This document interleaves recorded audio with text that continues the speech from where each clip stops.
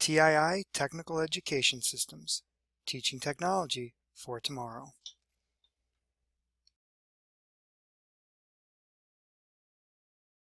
Okay, in this video what I want to show you is how to start to create animations for your Siemens HMI.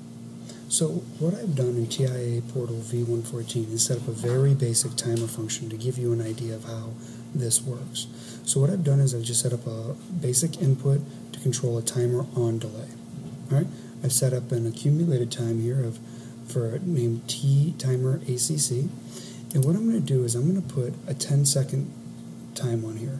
So I'm going to type in 10,000, which will give you 10 seconds here. Okay? Now I've created my root screen, um, and I've gone ahead and thrown a basic conveyor in here to give us some idea of what the animation can look like out in the field. And setting up the animation, setting up the timers, putting an image, a graphic image on here, I have all of that information in different videos that I've made in this series for TII Technical Education Systems. So what I want to do is I'm just going to grab a, ran a random image, okay? So for example, I'm going to grab this green motor, and I'm going to act as if in whatever factory this is, we are shipping, we are running this product down the conveyor belt. Okay, so I've just grabbed this image here. All right, so now what I'm going to do is I'm going to double click on that motor. I have is I'm going to go to its properties. And what I want to do, and you can basically all the same steps no matter what you put on there. I'm going to go to animation and I want to add a new animation. All right? And so what I want to do is I'm going to scroll down to here and I'm going to grab the move, the horizontal move right here. So I'm going to add this into it. And now I need to tag this to something. So I'm going to tag this to the accumulated value of that timer. And that'll be located in your PLC tags. So click on your default tag table. And then you do your timer ACC. And you, set, you select OK. And then this is tagged. And then you have to select what the range is.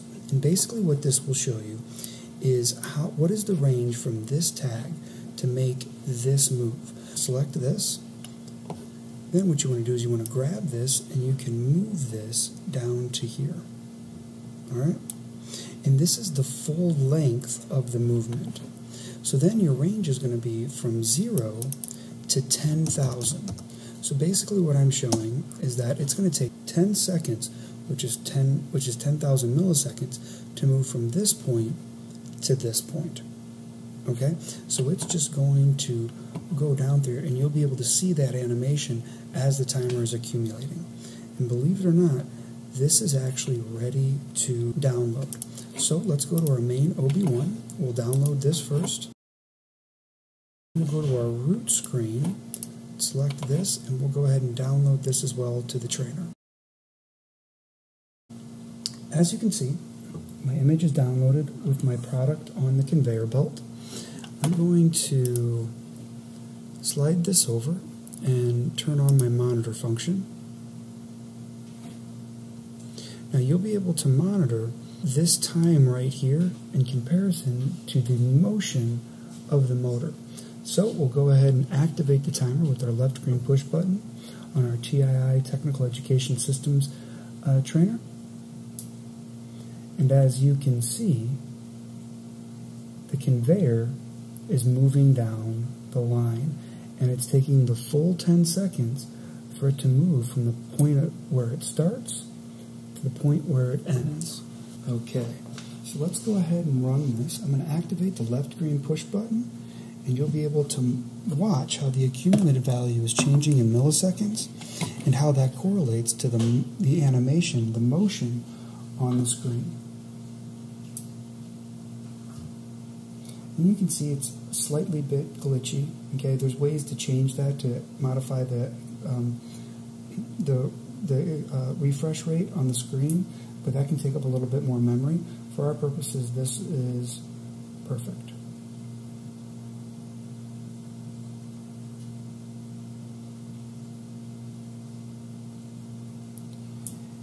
And so setting up any basic motion, let it be vertical, let it be horizontal, let it be at an angle, these all basically operate exactly the same. And so um, here we're using the accumulated of a timer, but it could just as easily be a analog sensor coming from an ultrasonic sensor sensing the height of a tank or something like that. As you can see, Siemens makes it very easy to do animation on their HMI screens. Okay, um, this was uh, Unit 22.1, uh, the TII Technical Education Siemens PLC and HMI Trainer. Thanks for watching.